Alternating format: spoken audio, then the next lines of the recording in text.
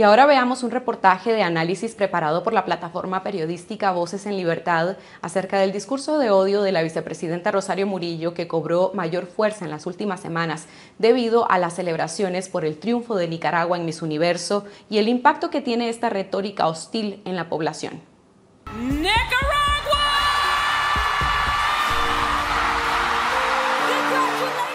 Vemos el aprovechamiento grosero y la tosca y malvada comunicación terrorista que pretende convertir un lindo y merecido momento de orgullo y celebración en golpismo destructivo. La celebración nacional por el triunfo de Cheney Palacios Miss Universo 2023 desató la paranoia oficial.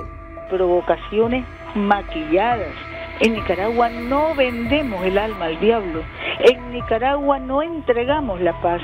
El mensaje de odio de Rosario Murillo volvió a ser noticia internacional a pesar de que es parte permanente de su discurso y sus prácticas represivas. Atacó la celebración y la alegría espontánea de la población por la reina de belleza y ordenó destierros y arrestos, principalmente contra la directora de Miss Nicaragua, Karen Celeberti, y su familia.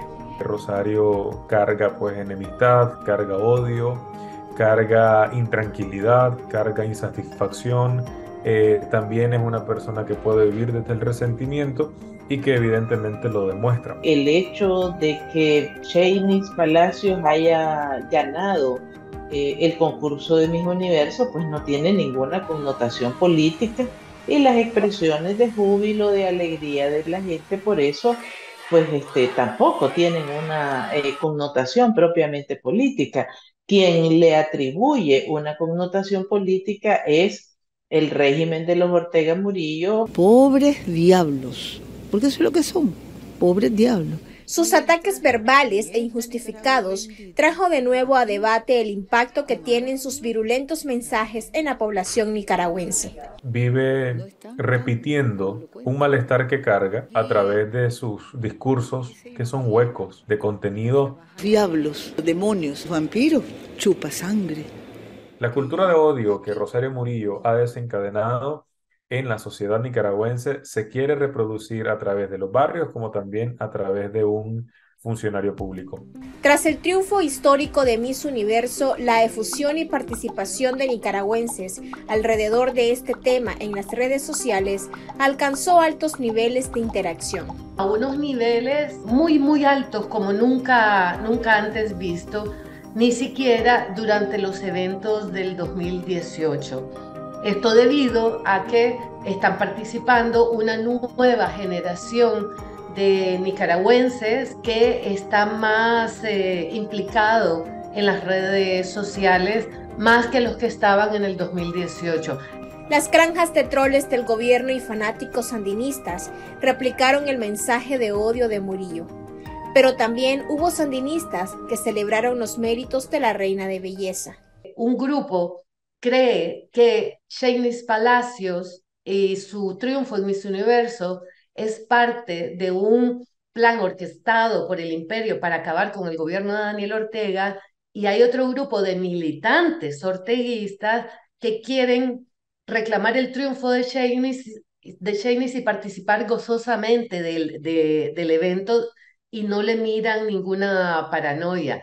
A este grupo se le suma el grupo de los simpatizantes del gobierno, estos simpatizantes que no son militantes del Frente Sandinista, ni de Juventud Sandinista, ni de la red de jóvenes comunicadores, y estos simpatizantes, como no pueden ser controlados por Rosario Murillo, estos simpatizantes van por la libre y tienen un relato reivindicativo eh, eh, sobre Shanice, la, la celebran, la quieren para ellos, la quieren ver, la quieren celebrar y, no quieren callarse a pesar de que la orden por parte del, del régimen y por parte de la, de la estrategia de comunicación política de Murillo es silenciar el nombre de Shanice. Una prueba de la intolerancia del régimen fue el arresto del TikToker y exmiembro de la juventud sandinista Giovanni Acevedo, conocido como el Tropicón, que en una transmisión de redes sociales celebró el triunfo de Palacios y cuestionó a quienes se burlaron de ella.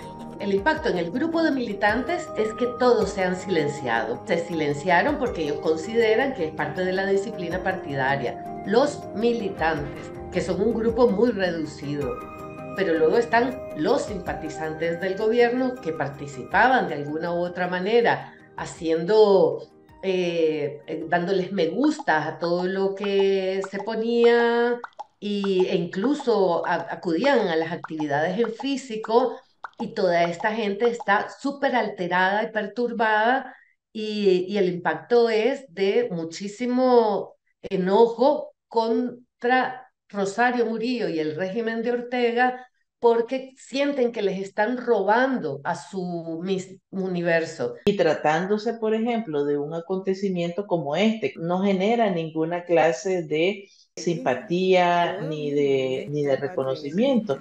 Pero este solamente es un episodio más de su acostumbrada retajila de insultos en cadenas nacionales de radio y televisión. En pocos segundos pasa de esto. Aquí reina Cristo Jesús porque aquí reina el amor a esto. ¿Cómo entender ese absurdo coro de serpientes, de víboras traicioneras, de fabricantes de mentiras, de denigrantes a sueldo, de mentecatos y falsarios?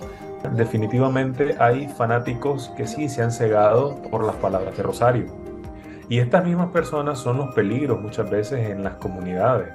Yo insisto, la persecución es efectiva porque hay personas que se prestan al servicio de la dictadura para vigilar y, denunciar a aquel vecino que le, que le lleva la contraria, que piensa de manera diferente. Pues la población en Nicaragua pues resiente em, esas diatribas en el sentido de que eh, pues ya no las toman con seriedad, ¿verdad? Eh, no gustan, no, no calan en los sentimientos, pero tampoco calan en eh, la forma de pensar de la gente. Incluso entre sus propios partidarios, pues este, eso casi ya no se ve bien, solamente en los círculos más cercanos, pues que son de, de lealtades abyectas es que se puede considerar eh, bien un discurso de esa naturaleza.